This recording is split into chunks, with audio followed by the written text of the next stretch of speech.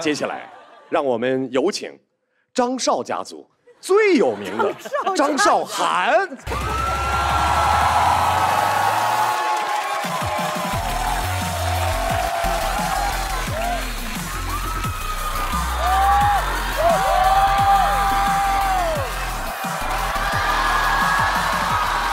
大家好，我是张韶涵，很高兴来到，很高兴来到吐槽大会。我听说张绍刚是主持人，我就很期待。一来的时候啊，我就跟他打招呼，我就叫他刚。涵，张老师还不好意思，第一次见面怎么就叫人家的昵称呢？我说叫你刚，是因为你配不上张少两个字。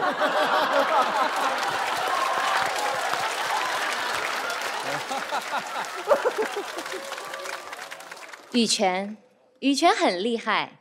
出道的第一张专辑《最美》就到达了巅峰。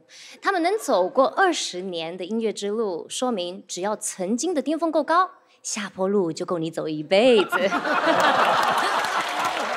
羽泉就是啊，一条下坡路走到黑。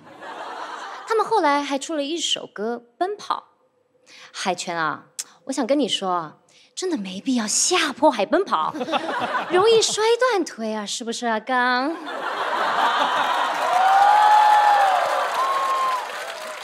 其他俩的声音还是很好区分的啊。羽凡的声音比较有力量，有金属感，而海泉的声音比较难听。这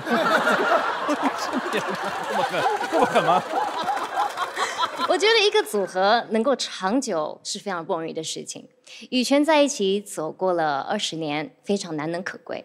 很多人想知道他们到底能坚持多久？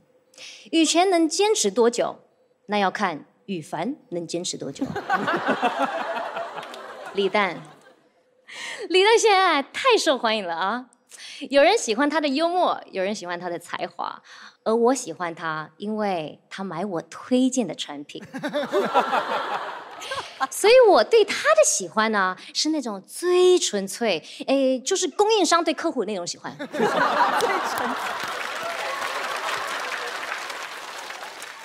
李诞这两年红的好快，现在最火的节目都请他去当嘉宾，这也意味着你马上可以走下坡路了。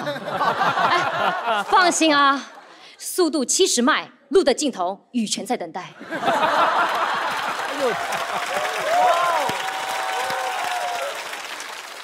汪苏泷，我的前同事。汪苏泷之前说要给我写歌，几年都过去了，这首歌还没写成。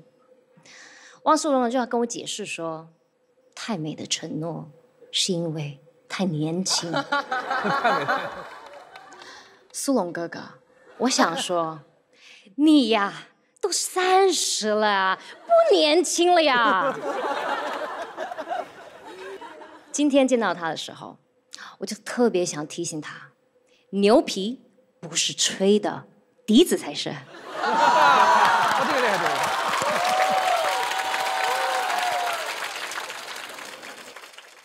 我在歌手里的音乐合伙人大王，他很爱哭，他就喜欢。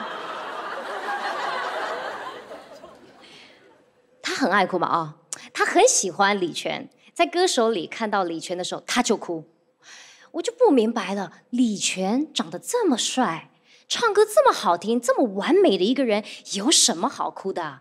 哎，这是李泉，不海泉呢？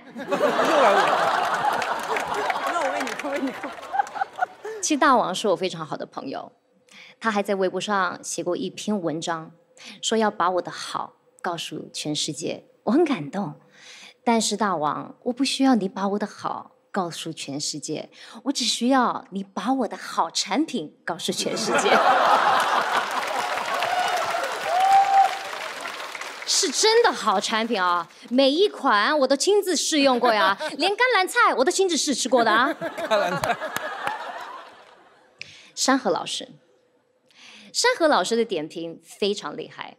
但很遗憾，我和山河老师都是在节目里几乎没见过几次面，因为他都是隔屏点评。有一次，我见见面的时候，我们是在楼道里啊，然后我就跟他打个招呼，我说 “Hello，山河老师”，然后啊，他就扯住我说：“少海，你这一句 ‘Hello’ 改编的真好，富有感情，你赋予了这个 ‘Hello’ 新的生命。”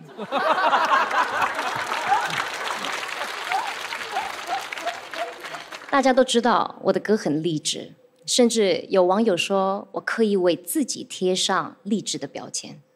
拜托，我没有刻意励志，我是天生丽质。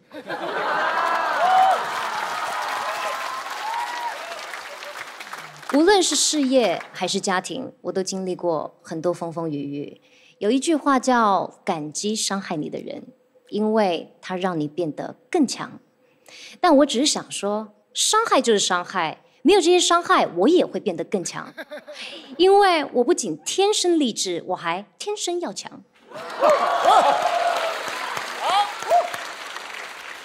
我不感激伤害我的人，他们只是提醒了我不要成为那样的人。我宁愿逆流而上，也不愿随波逐流。善良是一种选择。你看电影的那些说我没得选啊，这些啊都是大坏蛋。很多人觉得我在圈里朋友特别的少，不是我朋友少，是我对朋友的定义不一样。虽然朋友多了路好走，但我也不需要给我修路的朋友，我自己有翅膀。谢谢大家，我是张韶涵。